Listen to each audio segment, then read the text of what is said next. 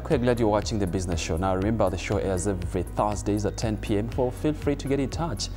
And in case you missed the main show, you can still catch the repeat that is on Saturdays at 8 a.m. And also for those of you that are on the move, uh, socials, yes, you can go to YouTube and follow all the episodes that I've aired, plus this particular one. They're always uploaded for you to make sure you have the latest on how to grow your business. Let's talk how to make money, one of the best segments I love on the show because we do show you how others have done it and just like we've done before, today we are showing you how you can make that money.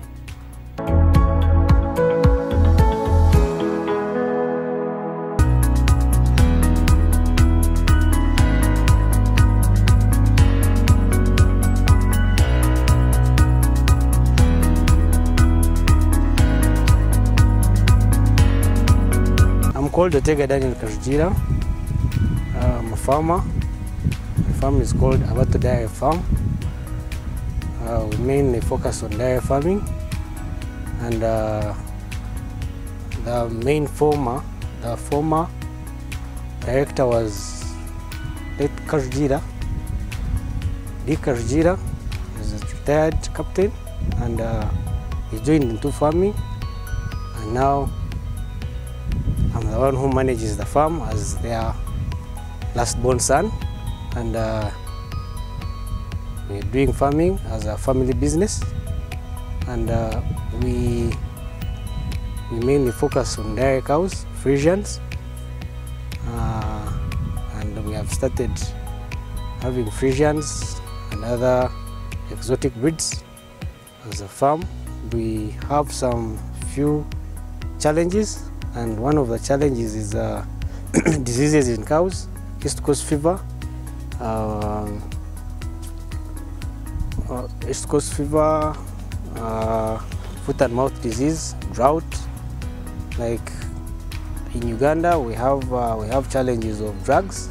Uh, drugs are a bit they have affected them, but we are looking for a way we can use other companies so that they can give us good drugs and we also I'm also a member of uh, one of the biggest cooperatives in Uganda it's called the West Ghana Kashari Dairy Farmers Cooperative Society and it is in here in Biharwe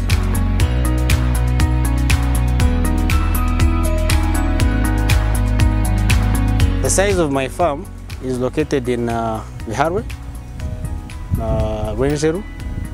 It's, uh, it's on uh, 100, uh, 110 acres and uh, we have banana plantations, we have uh, a mango project, we also have dairy farmers, dairy cows. So we, we collect milk, we milk cows. After milking the cows, we take them to the cooperative. One of the cooperative, one of the biggest cooperative, West Ghana Kashai Dairy Farmers Cooperative Society. And uh, that is where we collect milk from all the members in Kashari. So we are comprised of uh, about 180 members. Uh, we get products, we collect milk and market it and sell them to the one of the processors. We have also started processing yogurt as a value addition and uh, we are planning to also have a market size where we can also sell our milk, our yogurt e- every part of Uganda. So we're trying that. As a farm, we are also we are trying to to also have a big quantity of milk because now we have around 250 liters of milk per day and uh, we are planning also to to increase on the milk so that we can also uh, compete with other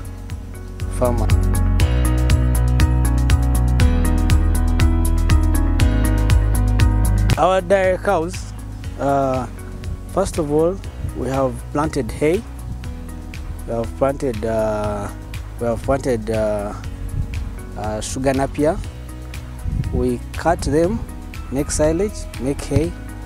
Uh, we have, as, as hay, we make, uh, we have Chloris gayana, and Chloris gayana, we make them hay, we store them so that we can supplement them. We supplement our cows. We give them uh, minerals, uh, vitamins, so that they can increase on their milk production and also be healthy. And give them fresh water. We don't. We have uh, we have big troughs where we can store water from, so that they can. The water that we use is uh, bit fresh, not like the ones which we use in the dams. The dams and other troughs which are made by clay, no, we don't use that. We use uh, we use uh, well furnished, well made troughs. We have hundred cows, uh, plus the calves, plus the heifers, 110 cows, uh, and we we are we are planning to increase on our on the cows by making zero grazing. We want to make it a modern farm. We want to start uh, zero grazing, and uh, we are planning in about three to two years. We are going to start uh, a modern farm. So far, it's now modern, but we haven't reached on the stage that we want. So we are planning to make to structure the, the farm and make it a modern farm where even people can learn from it because it's near the city and uh, it's actually it is uh, strategically located very well. Uh, diversification is very good because you cannot depend on one thing. Uh, you cannot depend on dairy farming. So we also planned that we can also have mangoes and uh, banana plantation that can also support the dairy farm. Because when you have your manure, you take it to the banana plantation and the banana plantation also gives you uh, income so that you can also support the dairy farm. It's good to diversify and I encourage everyone to diversify. If you have like a farm that has uh, that has uh, that that has that has a, a land, you can try to diversify, have do farming, plantations, so that everything can come with an income, so that you can also support uh, uh, can also support if the if the yield of if uh, the production of milk is low, then the banana plantation can help you to to pay the workers and uh, people who will the helpers that help you at the farm.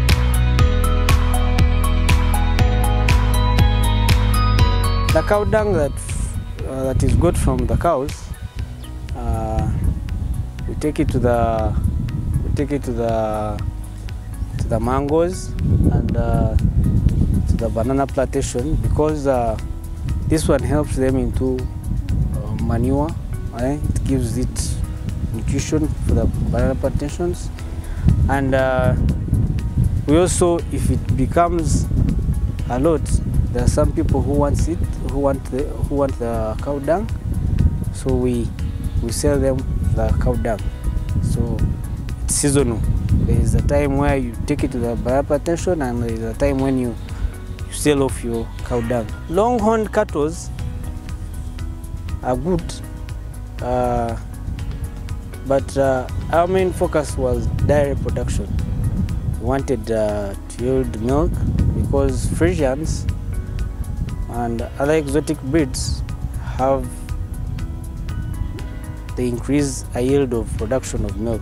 So I, uh, our main focus was Longhorn. Our main focus was Friesian because we thought that we can increase on our milk production because of income that is because when you yield a lot of uh, when you yield a lot of milk that is the the income that you get so it's better we have ankole cows but they are not on this farm but uh, they, are, they are on the other farm. But we are mainly focusing on this farm as a dairy product, a productive farm. Our impact on the farm on the environment we have given people employment we have given people jobs. Other people are working our neighbors most of them work into the banana plantation and they get what to eat the others are working two cows and they get what to eat. So that is the impact that we have given them. We have also given them a good environment because uh, we maintain our trees and we give them also oxygen for the for their sustainability. So we also we have impacted on the good environment to keep the environment clean. And we are trying to also work with the government on roads, on other things so that we can also try and uh, keep the environment clean. Uh, one of the challenges that we are facing is uh, on the farm is diseases.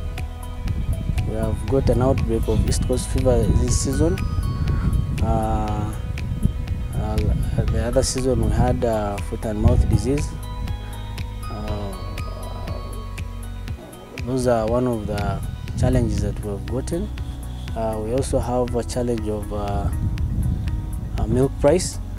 Uh, milk price is a bit fluctuating and it fluctuates a lot and it doesn't help it doesn't help us us as a farmers because when you yield some milk and you give it to the dairy they give you little price and which cannot sustain our farms so i don't know how we can we we are we are trying to to market our prices but now we have tried to to do value addition but it's still low.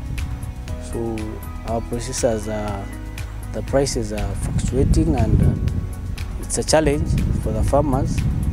And we encourage maybe they can increase our prices so that we can sustain our farms. Uh, use record keeping huh, to know how my farm stands, uh, the milk production record, the uh, the herd, the cows, how many cows are on the farm, uh, how many cows have uh, we have lost, because it keeps us moving to know how the farm has gone and how the cows are how the farms are reproducing. Because uh, if you know that uh, the cow is about uh, it has it has six calves or maybe it has it has produced more than six cows so you can know how you can uh, try to, to maintain it so that you cannot uh, it cannot be old. So you know how to to know that uh, these cows are productive this cow is productive. Uh, we also have we do bucket feeding system so we know how much this calf has has taken this calf how months we have to to see how months how uh, if it if it takes six months. And we know that we that is when the we'll remove it on the bucket feeding. I tell all the urban viewers uh, about dairy farming I want to tell you that everything is tiresome, but uh, you have to try. And uh, if you want to venture into dairy farming, you have to be patient. Uh, you have to learn the breeding, the health, the, the health of cows. You have to also learn on the production of milk, how you can increase on your milk. You have to have a land that is one of the important things. Land is very important on farming. You have to also uh, know which breeds you're going to use because breeding is very important in dairy farming. And uh, also, you have to not be a mobile farmer. You have to be on farm so that you can also monitor on how you can maintain your farm and make it a better farm.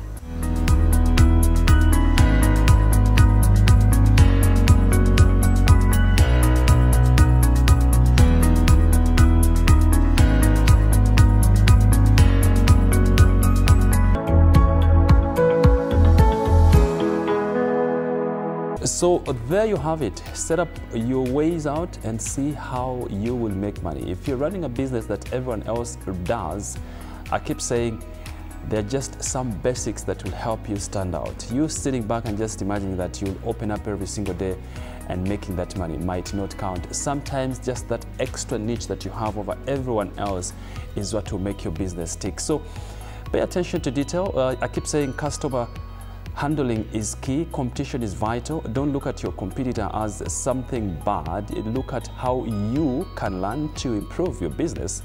And if they're not doing a particular thing, then you probably have to do that if it works.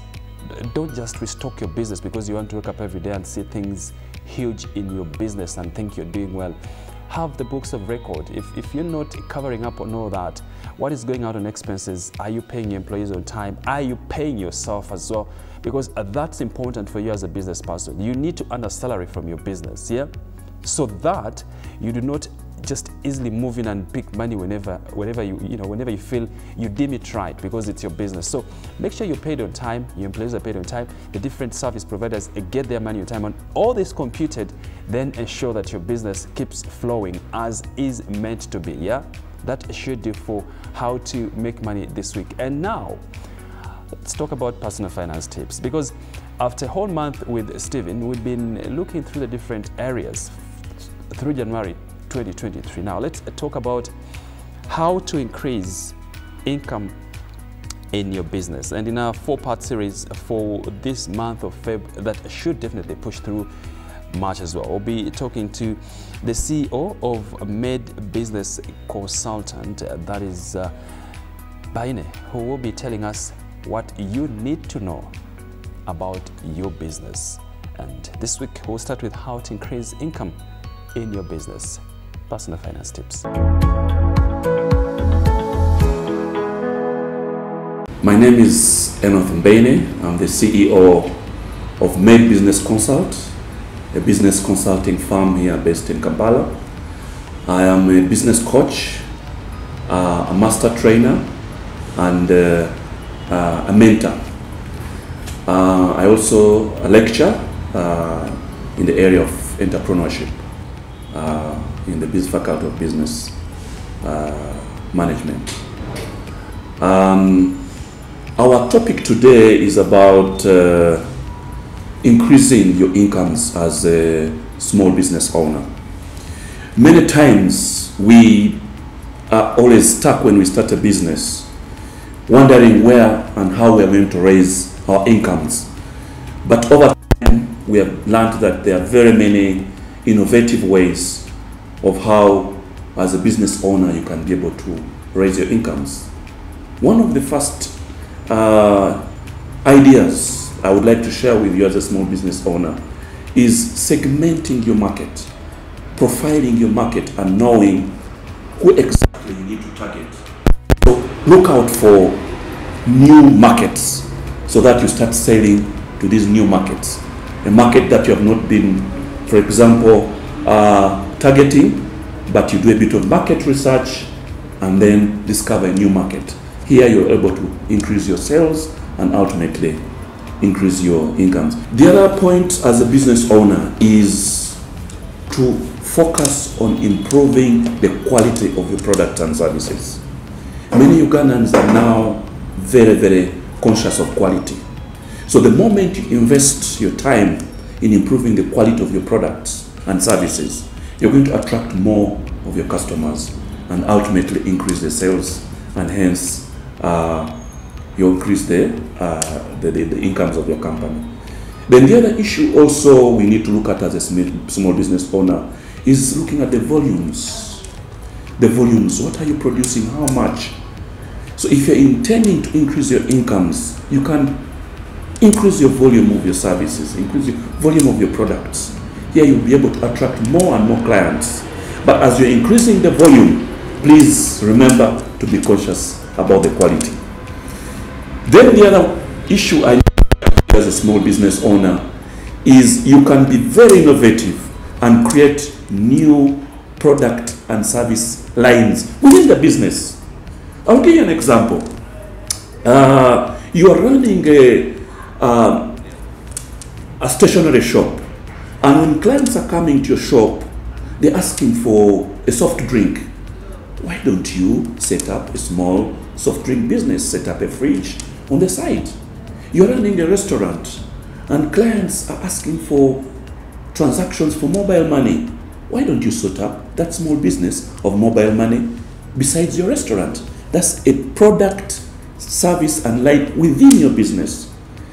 But I would like to caution you that when you're setting up another product line, which we normally call a revenue stream within a business, it should be correlating or should be in a way related so that the customer finds it as a one-stop center for, for their services and products.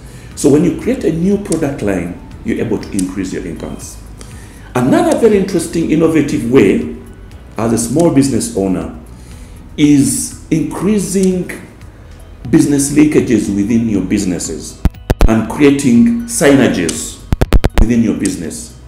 I usually give a very good example when I'm teaching my students in entrepreneurship. Uh, the case of Mandela Group of Companies. Mandela Group of Companies has City Oil, it has Cafe Javas, it has City Tires, and they've also recently ventured into Mandela Millers. So Mandela Millers supplies the wheat to Cafe Javas. The trucks that are transporting the produce for Mandela Millers, where do they get their fuel? From City Oil. Where do they get their tires from? From City Tires. So you can see the Mandela being so innovative create these synergies and linkages within a business to retain more money in the company, hence increasing his incomes. And the other issue also is outsourcing. As a small business owner, you don't need to do everything. You can outsource certain functions. Let me give an example of a hotel. Surely, if you're in a hotel, why should you start doing all the dry cleaning and laundry and washing? Why don't you outsource such a particular function to a company that's doing it? Here, you're able to avoid things like paying the workers, paying the various statutory obligations for the workers, and you concentrate on your core business of providing the hospitality services because your core competence is not into the cleaning. Outsource that particular service to a company that is doing the cleaning. Henceforth, you're able to leverage your costs and increase your incomes. And lastly, one other thing I really need to, to share with you uh, in terms of uh, increasing your incomes is looking at your costs as a business. There are certain costs that are not necessary. Okay?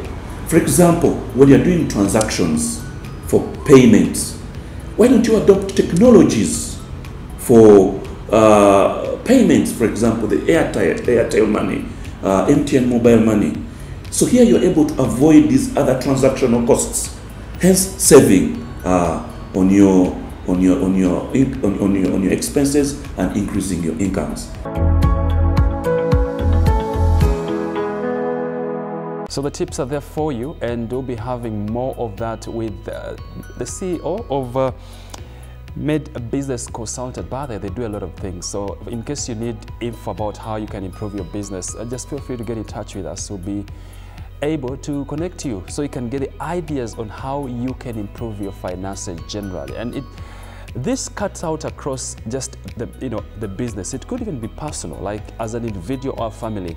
Are you struggling with managing your finance? Are you struggling with how to grow your finance? Do you would you want to have extra funds coming through the different initiatives that you have around you or your family or your mates? All that is important. And of course, for those of you that would want coaching for your businesses, these are the guys. You you just have to watch and listen in from them and take up the tips because they will definitely help you improve your business moving forward. All right, let's talk uh, forex market. Yes, and looks like the shilling has relatively stayed stable through the week, opening about through what 3650 and has constantly stayed there to 3670 selling and buying respectively. Let's take a look at the comprehensive report now.